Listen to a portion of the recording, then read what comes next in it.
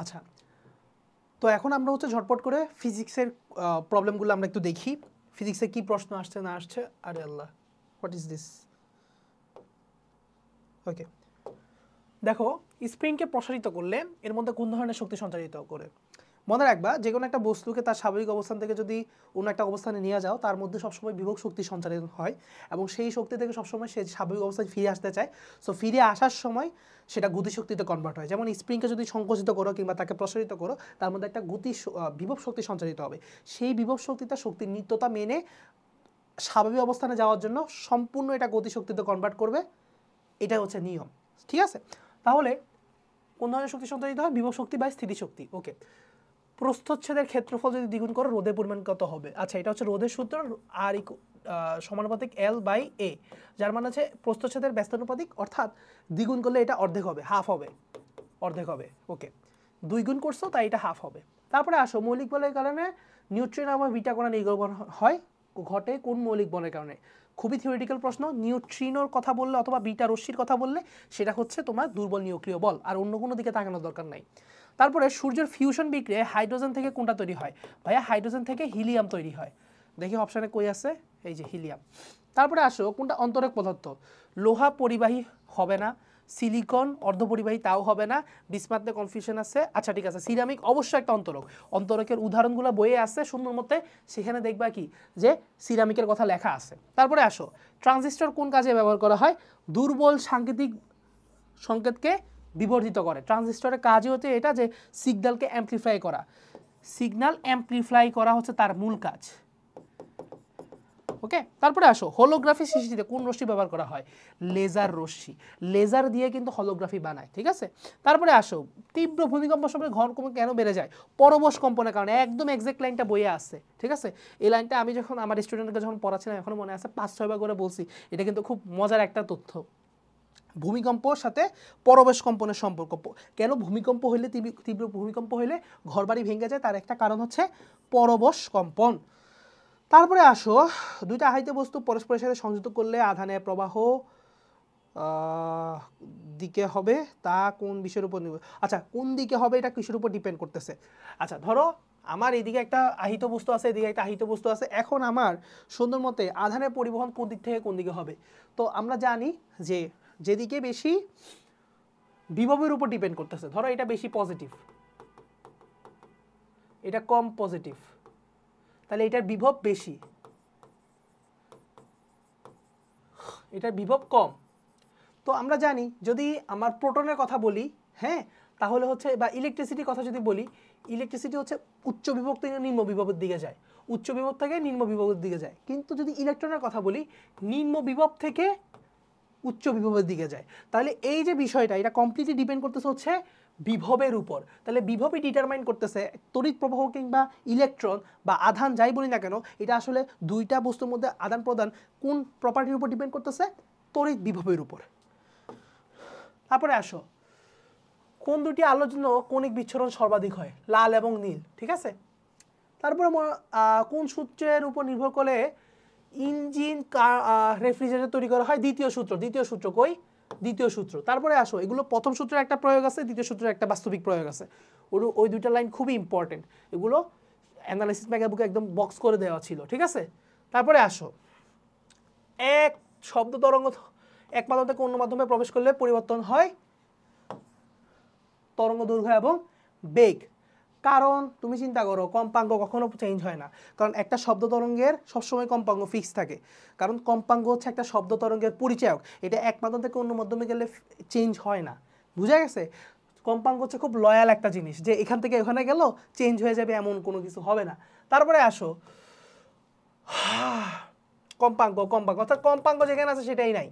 তাহলে অপশন তো এমনিই বাদ হয়ে যেতেছে দেখেই বুঝেছে কম্পাঙ্ক যেখানে নাই সেটাই হচ্ছে অ্যান্সার তারপরে আসো, শব্দ তরঙ্গকে বায়ুতে সমাবর্তন করা যায় না। কেন যায় না বলো তো? কারণ এটা অনুদৈর্ঘ্য। সমবর্তন করতে হইলে সব অনু প্রস্থ তরঙ্গের বৈশিষ্ট্য হচ্ছে সমবর্তন করা। সমবর্তন কখনো অনুদৈর্ঘ্য প্রস্থ তরঙ্গকে করা যায় না। তারপরে আসো, কোন কণার পারস্পরিক বিনিময়ের কারণে তাড়িত চুম্বক বল অ্যাক্টিভেটেড হয়? তাড়িত চুম্বক বল মানেই হচ্ছে ফোটন তাড়িত চুম্বক বল মানেই ফোটন ঠিক আছে? তারপরে আসো গ্রাভিটন হচ্ছে ওই গ্র্যাভিটির সাথে রিলেটেড ওকে ওই গ্র্যাভিটি বা মহাকর্ষ বলের সাথে, আর তাড়িত চুম্বক বলের সাথে রিলেটেড হচ্ছে ফোটন ওকে তারপরে আসো, কোন প্রক্রিয়ায় বায়ুর মাধ্যমে সদস্য সঞ্চালিত হয়? রুদ্ধতাপীয় প্রক্রিয়া, রুদ্ধ- রুদ্ধতাপীয় প্রক্রিয়ার বৈশিষ্ট্যগুলো দেখবা, সেখানে আছে। তারপরে আসো, কোন তাপমাত্রায় সেলসিয়াস ফারেনহাইট একই মান পাওয়া যায়? মাইনাস ফর্টি ডিগ্রি সেলসিয়াস অথবা ফারেনহাইট, কারণ একই পাঠ দিবে তারা। সো ফারেনহাইট বলা যে কথা, সেলসিয়াস বলা সেই কথা, মাইনাস ফর্টি ডিগ্রি ওকে শুধু ফর্টি না। তারপরে আসো, মানুষের কান সবচেয়ে মৃদু যে শব্দ শুনতে চায় টেন টু বা minus twelve watt per metre square দেখো তো কোথায় আছে? ওয়াও প্রথম অপশানটাই এটা। তারপরে দেখো, ভরবেগ যদি দ্বিগুণ করা হয়, গতিশক্তি কী হবে? ভরবেগের সাথে গতিশক্তির সম্পর্ক হচ্ছে E K equals to P square by two হ্যাম অর্থাৎ এটা বর্গের সম্পর্ক। এটা যদি দ্বিগুণ হয়, তাহলে ভরবেগ হবে দুই এর স্কোয়ার অর্থাৎ চার গুণ হবে। দেখো তো, কোথায় লেখা? চার গুণ। নিউক্লিয় চুল্লিতে ক্যাডমিয়াম তন্ত্র ব্যবহার করা হয় অবশ্যই নিউট্রন শোষণ করার জন্য। অন্যথায় ব্যবহার করা হতো না। আচ্ছা কোনটার রোধের উষ্ণতা সহ গুণাঙ্ক ঋণাত্মক? সিলিকন। কারণ বাবা কি? এই বাকি তিনটা হচ্ছে পরিবাহী। পরিবাহীর উষ্ণতা সহ গুণাঙ্ক কখনো ঋণাত্মক হয় না। এটা হচ্ছে বাবা অর্ধপরিবাহী। অর্ধপরিবাহী একটা মান আছে তোমার বইয়ে fixed minus one point six বা সামথিং এরকম একটা মান আছে। সো মেইন কথা আমি এটাই মনে রাখি যে অ্যাটলিস্ট মাইনাসটা মনে রাখতে হবে যে অর্ধপরিবাহীর রোধের উষ্ণতা সহ গুণাঙ্ক হচ্ছে ঋণাত্মক। এটা হচ্ছে বেসিক এটা ভুললে করলে হবে না। ওইটা তুমি মুখস্থবিদ্যা যে তোমার মুখস্থবিদ্যার কোশ্চেন তো আসে নাই। তাও বলা উচিত যে এটা কোশ্চেন কঠিন হয়েছে, কখনোই না। লাস্ট বা নট লিস্ট আমরা জিকে ইংলিশ কী আসছে? শুধুমাত্র অ্যান্সারগুলো আমি বলব এখানে। খুব বেশি এক্সপ্লেন করব না হয়তো। আশা করি বুঝবা। তারপরে যদি কোনো কারণে মনে হয় যে, ভাইয়া, এই প্রশ্নটা বুঝি নাই কমেন্ট করবা যে, ভাইয়া, এটার উপর এক্সপ্লেনেশন ভিডিও আরেকটু বড় করা দরকার ছিল এই পার্টটা আমি তাহলে আবার এটা সেপারেট ভিডিও করব। কোনো সমস্যা নেই, ঠিক আছে? যারা মনোযোগ দিয়ে ভিডিও দেখতেছো, কোনো তাদের জন্য আমি অল টাইম আসি। তারপরে দেখো অ্যাবস্ট্রাক্ট নাউন কোনটা? চাইল্ড দেখা যায়। ফ্যামিলিকে আমি দেখতে পাই বয়কেও দেখতে পারি, কিন্তু চাইল্ডহুড একটা শৈশবকে আমার দেখা যায় না, শৈশব দেখা যায় না। তাইলে হুড মুড এগুলো লাগানো থাকলে আমি জানি অ্যাবস্ট্রাক্ট নাও ছোটোবেলা থেকে পড়তে আসি। কিছু স্পেশাল শিপ হুড উড এগুলো লাগাইলে মানে তোমার অ্যাবস্ট্রাক্ট নাউন হয়। তারপরে অ্যান্টোনিম অফ এম্পেডিমেন্ট এম্পেডিমেন্ট মানে হচ্ছে যেটা বাধা। এম্পেডিমেন্ট শব্দের অর্থ হচ্ছে বাধা, যেটা তোমার লাইফে বাধা। এখন একটা জিনিস দেখো, তুমি হয়তো বুঝো না যে এটার আসলে অ্যান্টোনিম কি হবে। দেখো হিন্ড্রেন্স মানেও বাধা অবস্ট্যাকল মানেও বাধা। তার মানে দুইটা অপশান তো একই হওয়া সম্ভব না। দুইটা অপশান ডাবল উত্তর ডাবল অ্যান্সার কি সঠিক হবে? হবে না। তার মানে অপশানে এমন একটা ওয়ার্ড আছে, যেটা, এটাকেই মিনিং করতেছে। তাহলে এগুলো হওয়া যাবে না। তাইলে মানে আমাকে অপশানে এমন কিছু দিচ্ছে ভালো কিছু। হেল্পফুল মানে ভালো কিছু ইউজফুল মানেও ভালো ভালো কিছু। বাট এখানে মোর অ্যাপ্রোপ্রিয়েট হচ্ছে helpful call it a day উত্তর হচ্ছে ফিনিশ দ্য ওয়ার্ক অর্থাৎ আমি এটাকে কখন দিন বলে? এটাকে বলে এ দে যে হ্যাঁ আমাদের দিনের কাজ শেষ করে ফেলছি। এখন এটাকে কল ইট এ ডে এখন আমরা এটাকে কল ইট এ ডে আমি এখন দিন বলে ফেললে তার মানে হচ্ছে আমার কাজ শেষ। আবার আজকে দিনের কাজ শেষ। সো এটা একটা ইংরেজি প্রবাদ যে call it a day finish work তারপরে আসো। Choose the correctly spelled word renaissance খুবই কঠিন একটা বানান, কিন্তু খুব পপুলার একটা বানান এটা। কারেকশানের জন্য খুবই পপুলার একটা বানান। তারপরে দেখো সহজ, এটা সহজ এই জন্য তারপরে দেখো which of the following indefinite pronoun indefinite এটা তো ডেফিনেট এনি এনি মানে যে কোনো কিছু, এটা কি ডেফিনেট কোনো কিছু বুঝাইতেছে? না দিস মানে এইটা আইদার মানে এইটা, না হয় ওইটা। মানে এগুলো কিন্তু ফিক্স ডেফিনেট সাচ মানে এইরকম মানুষ সাচ এ পার্সন এইরকম মানুষ। তাহলে একটু নিজে চিন্তা করে দেখো বাস্তব স্পেস কিন্তু সব মুখস্থ করা লাগে না। মুখস্থের মধ্যে পারবা। এনি মানে যে কোনো কেউ, যার সাথে দাও, তার সাথে।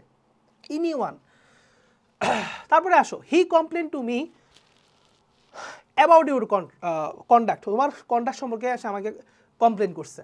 তারপরে আসো। I came to England to learn English to learn English few man are free from faults ফিউটা কি? ফিউ মানে কি বোঝাচ্ছে? মানে খুবই অল্প। খুবই অল্প। মানে hardly any hardly any man are free form মানে সামের কথা বলে নাই, এটা খুবই অল্প মানুষের কথা বুঝাইছে। তাহলে এই জন্য হবে অ্যাপ্রোপ্রিয়েট হবে hardly any correct indirect form he said you had better see a doctor এটার ইনডিরেক্ট ফর্ম হবে he advised he advise me to see a doctor বুঝা গেছে? খুব সিম্পলভাবে এটা অ্যান্সার করতে হবে। এটা একটু ভালো গ্রামাটিক্যাল পার্ট আসছে। এটা একটু ভালো গ্রামার না জানলে এটা হয়তো অ্যান্সার করতে পারবা না। The synonym of the word anarchy anarchy মানে হচ্ছে নৈরাজ্য। মানে যেখানে কোনো আইন, কানুন কিচ্ছু নাই। সব গোড়া মানে পুরা রাজ্য গেছে লয়ের বাইরে। ঠিক আছে? ডিসিপ্লিন অ্যান্টোনিম ললেসনেস এটাই হবে সিনোনিম এখানে কোনো নৈরাজ্য মানে কি? এখানে কোনো আইন কানুন নাই, যে যারে পারতেছে মারা, কাটা, কাটি, যা আছে, যত ধরনের খারাপ কাজ, সব সেই রাজ্যে হইতেছে, এনার্কি। তারপরে আসো দেখো choose the word which have never have plural form plural form নাই। ইনফরমেশনের প্লুরাল ফর্ম হয় না। এটা হচ্ছে বেসিক্যালি তোমার নাম্বার থেকে দিছে। ওয়েমেন ওয়েমেন হয়, তারপরে মাউস মাইস হয় ইনভেন্টর ইনভেন্টরস হয়। সো এগুলোর আসলে প্লুরাল ফর্ম আছে। এটা প্লুরাল ফর্ম নাই কিন্তু, চাইলেও বানাতে পারবা না ইনফরমেশানস বলা যায় না।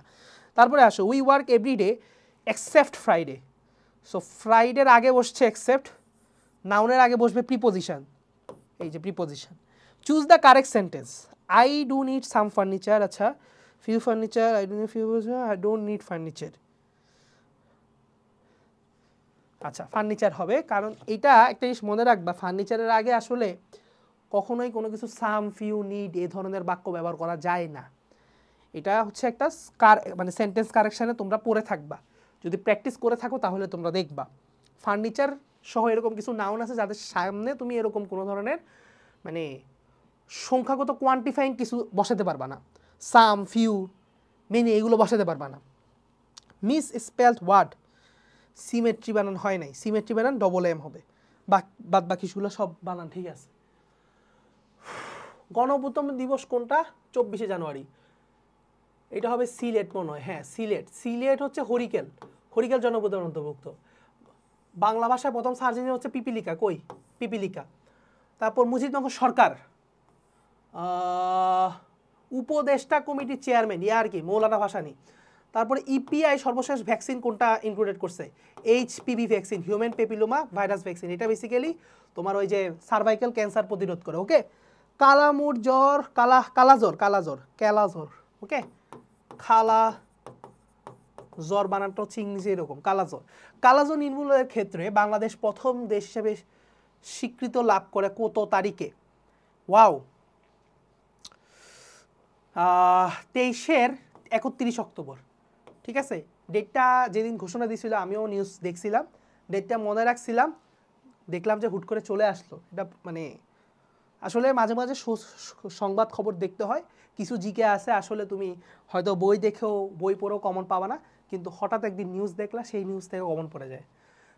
সেপ্টেম্বর অন যশোর রোড এটা রচয়িতা হচ্ছে এলেন গিন্সবার খুবই কমন একটা অবজেক্টিভ কত সাল পর্যন্ত আত্মজীবনী প্রকাশ পাইছে, লিপিবদ্ধ আছে, পঞ্চান্ন পর্যন্ত।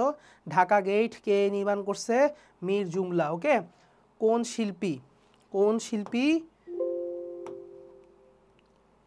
মুক্তিযুদ্ধে প্লাটুন কমান্ডার হিসেবে অংশগ্রহণ করে? শাহাবুদ্দিন আহমেদ, ঠিক আছে?